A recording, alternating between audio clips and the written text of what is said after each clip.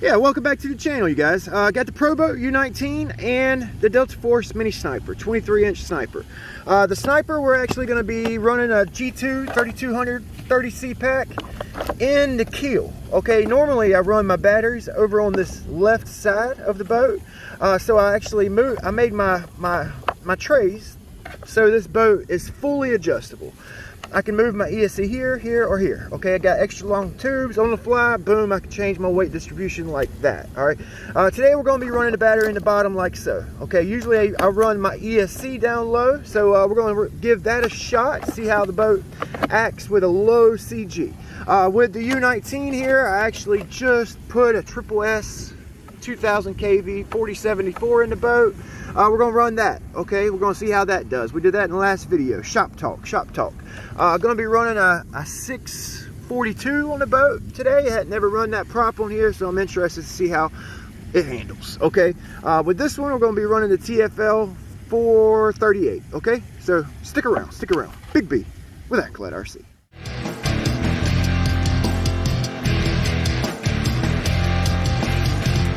Get to it. Let's get to it, all right? I'm really interested to see how the boat handles with the low CG. I've actually run my batteries down low in this boat before, and it actually handled really good. Uh, if I remember right, I want to say my CG was too far forward. I had a 4S pack in it. So this 3S light pack, it should, uh, it should do the trick. It should do the trick. So let's give it a shot. Let's give it a shot here. Let's see what happens. Uh, got the GPS somewhere, somewhere. Where is it at? There it is. We'll throw the GPS in there. Yeah, I built this boat for versatility. It's very versatile. Fully tunable, fully adjustable. I had fun with this boat. This is one of my favorite build builds I've done. Uh, like I said in my previous video, as soon as Offshore Electrics gets some uh, some Delta Force hulls back in stock, I want to build a build a Delta Force uh, a Delta Force Pathfinder. It's a catamaran. I think it's 28 inch catamaran. I've been looking at that boat for a while. I wish you'd get some more hulls back in stock. Either either the the Pathfinder Delta Force or or the um, one of his vortex, the path, uh, the the Delta Force vortex. I, I kind of like the little one, the little 16 inch vortex hydroplane, kind of like this guy here, but smaller, or the 23 vortex. Uh, really interested in that 23, to be honest with you. The 16 would be fun, but it would be a tough build. Tough build so small for my big gorilla fingers. But uh, really, I can't wait for him to get some more Delta Force hauls back in. I hope, uh, Steve, I hope you, I hope you're listening. All right. So let's give it a shot. Let's give it a shot. I didn't bring my fishing pole. Hopefully we won't need it.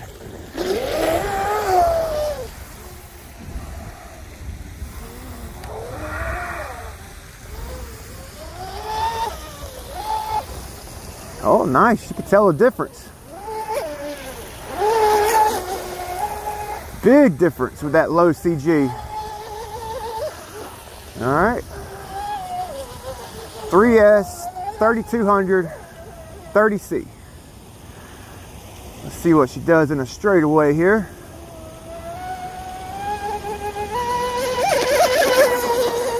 That was full trigger. A little squirrely there. I need to pick this turn fin up because she's dragging. That one's dragging. All right, let's give that a shot. Oh yeah, I had it set up for that uh, 42 millimeter chopper prop. Oh, that's much better. Yeah, had it set up for that 42 millimeter chopper prop. From prop to prop, you have to change your, your trim tabs, you know, to get the most out of it. Yeah.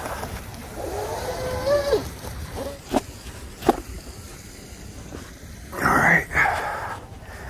A little bit too far forward.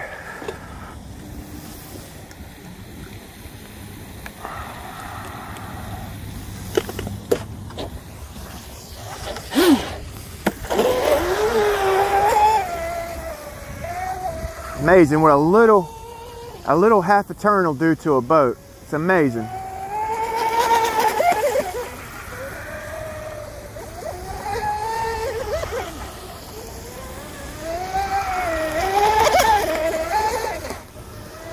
Only day I could get out here and run the boat.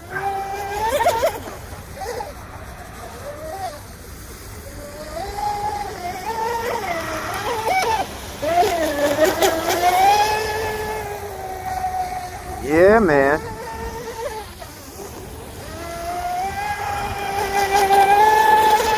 One more pass here. Oh! So before, with my battery over to the left, it would have flipped over just now. So that lower CG keeps her planted.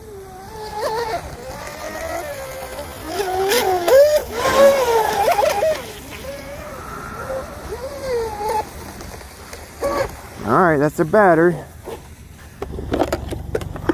Check the temp here. 85 on the motor, 86, FlyColor 115. Ooh, that's the highest temp I've had on this FlyColor. Oh shit, that's the highest temperature I ever had.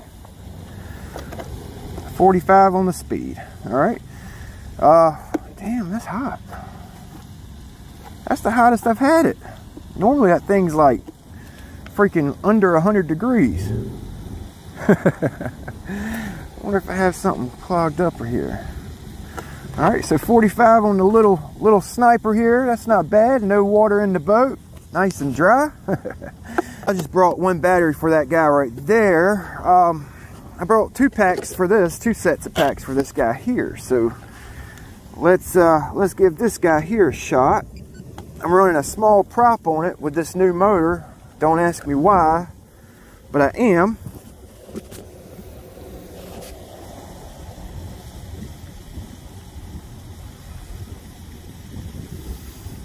Record.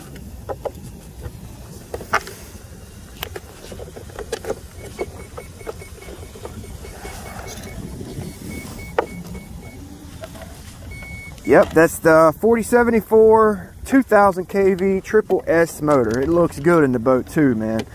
I had that motor in my had that motor in my um, Sonic Wake V1 it was it's uh, out of commission right now until I get another hull. But um, for the time being, we're gonna run it in this boat. Okay, uh, that, you know I like to change motors out in my boats, interchange motors if I can, if I can, you know. Oh shit! Oh, okay, okay. Golly, boy. Oh, Oh, landed it, boy. She took off like an airplane, son. All right, so I got a small prop on. I need to check my coolant here. Okay. So I was checking my coolant. All right, this is a small prop. You see that small prop I got on there? I was just uh, making sure that my, my blast pickup was catching the blast from the propeller. You know what I mean? Since I have a smaller prop on, smaller diameter, um, but it looks good. It looks good. It looks good. It's cooler. God, son. I, hey, that's a pretty decent little prop for this boat. That's 642. Shit. Okay, okay. Might have to mess around with, with stinger positions. And I might need to move my, my, my Mad Lizard, Mad Turn Fin kind of do some adjustments on that. It's like my fourth run with it. Let's see what we got here. Okay, see her wanting to come up like that? See her wanting to pick up? Okay, okay.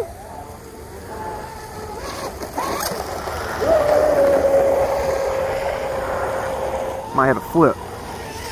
Oh, wanting to pick up. That little propeller's got it looks like it's got a little bit of bow lift.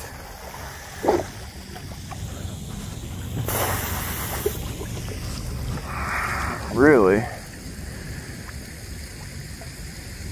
Really? I really need to go down with my strut a little bit, but I'm not messing with that right now. I got my batteries all the way up and it's wanting to pick up. So let's go, uh, let's go into the wind, or with the wind, I should say. Oh, it flipped. All right, so I, I just got the boat out, 53 with the little prop. Gonna give it another shot here. I actually lost one of my fins. Came off the tape. You, oh, both of them did. You would think these things would be, uh, have some flotation in them. That kind of sucks. I was over there looking for it and uh, they don't have no flotation in them. Damn, I wish I'd have known that. I would have filled it with foam. Oh, the next set I get, we're gonna fill it with foam. But that happens, that happens. You flip the boat, it's gonna happen. That's why they make them so they break off. That looks terrible. If I had to recommend something for you guys, I would recommend taking your, your fins off, fill it with foam, and put them back on. Okay, I wish I would have known that. Uh, so I'm gonna run it without the fins, which that's fine with me. Um, this is the first time I've ever run a different prop on this boat. So um, it actually worked pretty good. Got a little bit of bow lift. Oh.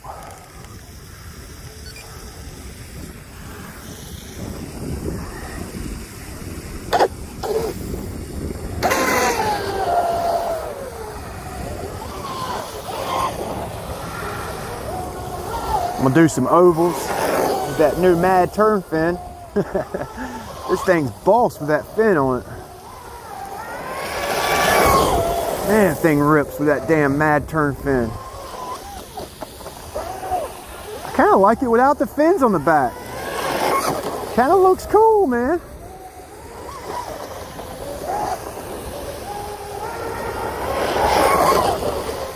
Nice. She freaking rips.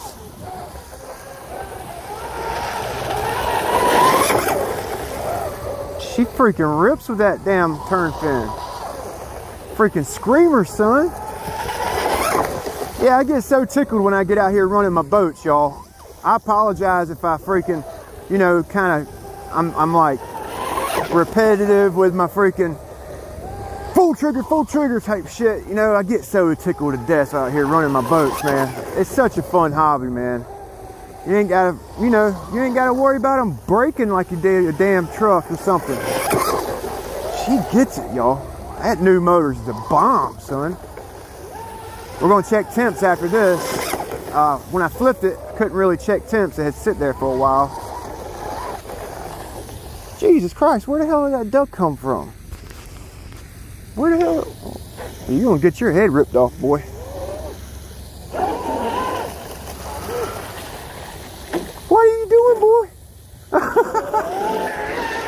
Crazy duck.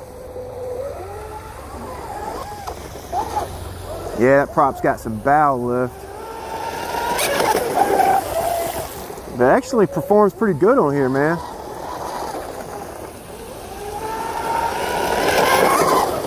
Yeah.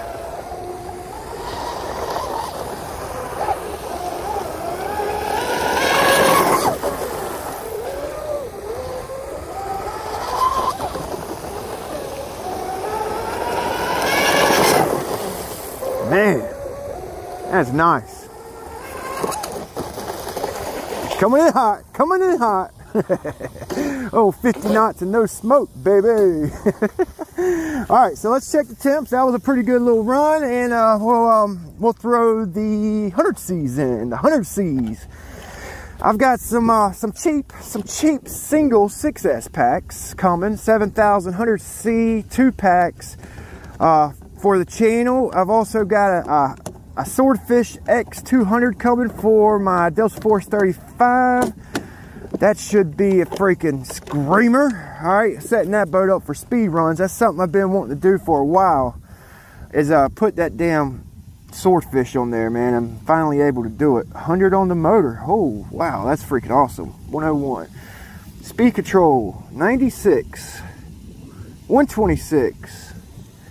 116 damn, that's a good, that might be a good choice, man. Go ahead and get these bad boys out. Let's put the 100 Cs in and give it a rip. Yeah, I like this motor jacket better than the stock one. You got more room to get into your batteries without those cooling lines coming out the side of the damn can. I might I might solder that 3650 back up and uh, and put the 3650 in my Blackjack 24 for a while. That six pole. You know what I mean? You know what I mean? Uh, one of my subscribers, I can't remember your name. Sorry, buddy. He'll know who I'm talking about anyway. He just put a 3656 pole in his Blackjack 24. and he said it was a freaking screamer, son. That's the perfect motor for that boat, really. It's compact. It's a low KV compared to what I like to run on my Blackjack.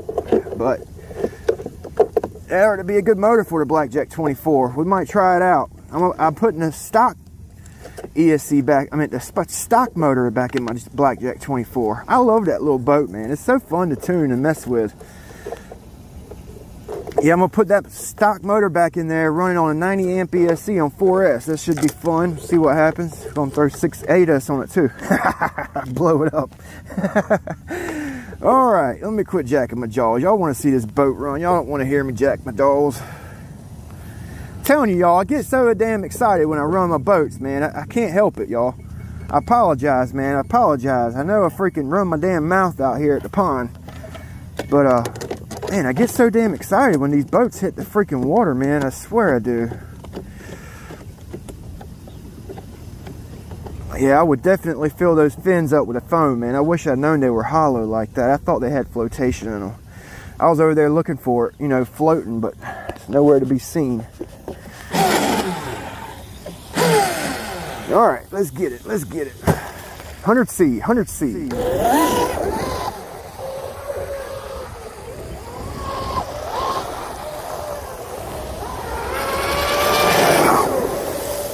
Boy.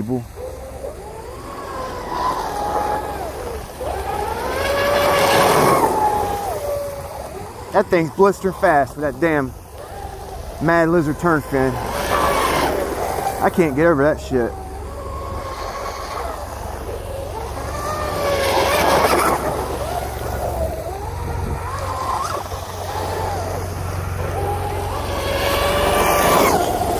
Y'all want to see me run this boat? Here I am. I'm running it. Not checking temps every every now and then. See, I feel comfortable with this boat now. I know where it's at. I know what I got. I know what's in it. You know what I'm saying? Especially with that little prop.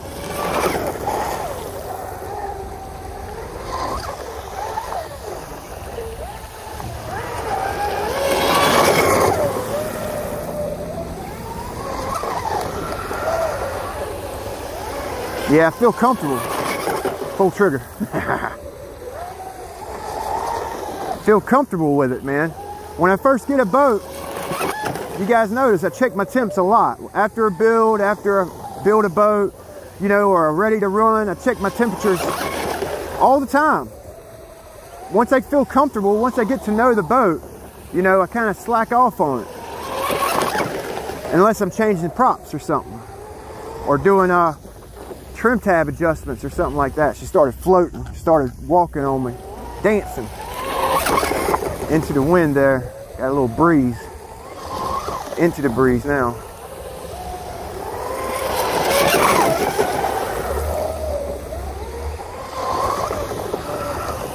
That that 4074 is getting it, y'all. I like that motor in the boat. You can tell it's got more more throttle response. Okay, it's got more like throttle response. It's got uh, more responsive with the trigger. See, there I go, repeat myself again. Sometimes I can't find the words when I'm out here running my boats like this. I'm, I'm watching the boat and I can't find the words and I'll sit there and repeat my damn self.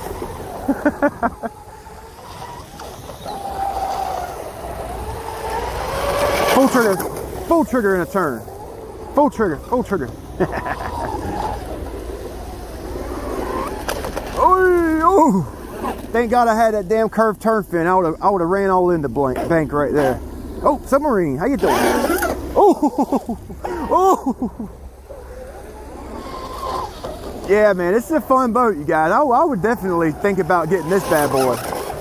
Yeah, man. Put a 150 in it and like a two, uh, 1600 to 2000 kV motor. You got something, boy. She's dancing, son. Get it, boo. Get it, boo.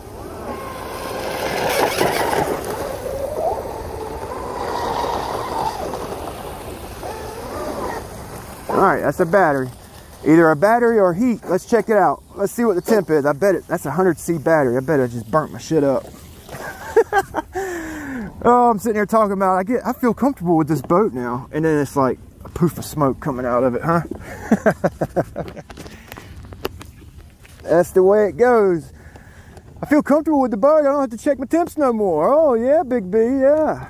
Just had a power cut. So it's either temp or low voltage. So let's find out. I don't see no smoke. That's a good thing. That's a good thing, boys. 50 knots and no smoke. So 52 doing laps. 52 mile an hour doing laps. Come on. All right. Let's check her out here, boys. Huh. 134, 125, 141. I swear, I've noticed, I've noticed with several of my boats, okay, that the 100C, 100C high discharge batteries have tend to have a lower temp on the ESC and motor. But I've noticed that. I've noticed that. Y'all, y'all, have y'all noticed that with your boats? A higher C-rated battery, you have cool, tend to have cooler temperatures. You know, um, same MAH, higher C-rated. So uh, y'all comment. Let me know what you think. If you what your experiences are with higher C-rated batteries opposed to a lower C-rated battery. All right. Um, yeah, that freaking 4074 boy, that thing was getting off, son. It was getting off. I need to get him a freaking napkin. and my little freaking Delta Force, I hadn't ran, I hadn't been running it a lot, but I kind of like it with the battery down low. Um, I, I remember why I didn't run the boat with the battery down low because my CG's a little bit forward in the boat. Wanted it to ride on its keel right here and kind of veer uh, with steering. When I run it on the side right here, kind of I could push it back farther, and uh, it actually offsets some of the torque roll. But hey, it's uh that's the hobby. That's the hobby. Switching stuff around, putting different motors in your boats, tinkering and testing, freaking you know your boats. Um, that's what I love about it. That's why I love RC. I love to promote the hobby for one. I love it, man. I love promoting the RC boat hobby. Uh, like I said in my previous video, uh, I don't think it's. I think it's underrated, man. I, I really do. I really do. And uh, and, and, and, I really, I really like to see, uh, you know, there's new channels here lately. I have new boat channels, and, and I really enjoy seeing new channels, man. Tinker Testing Tube channels, not just going out there running your boat. That's freaking awesome. Upgrade channels and stuff. So y'all keep it up, boys. Keep it up. Keep it up. I like to see it. Keep keep the videos coming, you guys. Uh, Big B here with Ironclad RC. All right. Thank you guys for watching. We'll see you guys next time. Huh? Don't forget to like, comment, subscribe, and all that good good.